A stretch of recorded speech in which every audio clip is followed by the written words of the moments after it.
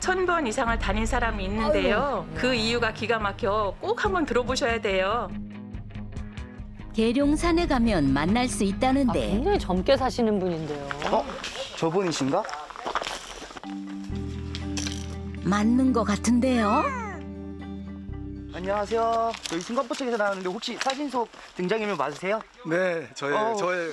이분이 바로 천 번이나 산을 올랐다는 류재호 씨. 어, 이거 왜 이렇게 산을 아, 올라가세요?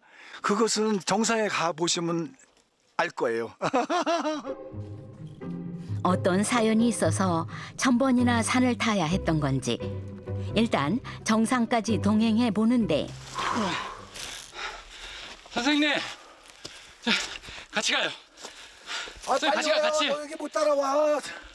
저요 피디 양반이 네. 아이, 이게 저 나이 전화. 70뭐 할아버지도 잘 가는데 아 참나. 아, 연세가 이른이라고요? 살이세요. 저 70입니다. 어디 가면은 10년 까고 얘기해요. 아니 저. 70이라고는 정말 이른의 나이가 돼요. 믿기지 않는 산행 실력. 역시 산을 천 번이나 올랐다는 분답다. 그렇게 산을 오르다 보니 드디어 계룡산 정상 관음봉 도착. 눈앞에 펼쳐진 아름다운 가을 풍광에 푹 빠진 모양인데 희정아 풍경 좋지?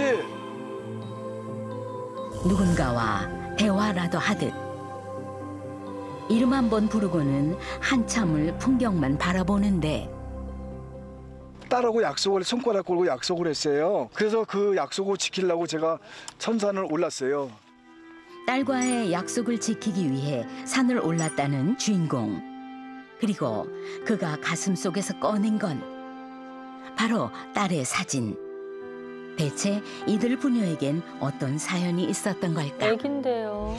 아, 그 잊어먹지도 않죠. 96년 8월 20날 그날도 계룡산을 혼자 왔다가요. 집을 다 가는데 아내가 전화가 목소리가 성급하게 전화 와서 딸이 많이 다쳤어. 그러더라고요. 그래서 26년 전 갑자기 사고를 당했다는 딸.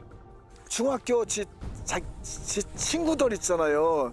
병문안을 해고 바로 천안병원 앞에가 버스 정류소예요. 친구 병문안을 마치고 집에 돌아가던 길 음. 과속 트럭이 아. 버스 정류장에 있던 딸을 덮친 사고였다.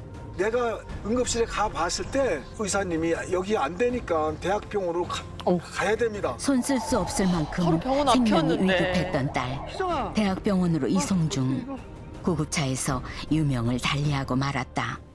그 순간 그 순간 저는 어떻게 된지도 모르고 저도 거기서 기절을 했어요. 엠, 앰뷸런스 안에서. 아, 어떡해. 불면 날아갈까, 쥐면 깨질까. 애지중지 키워온 막내딸을 허망하게 보내고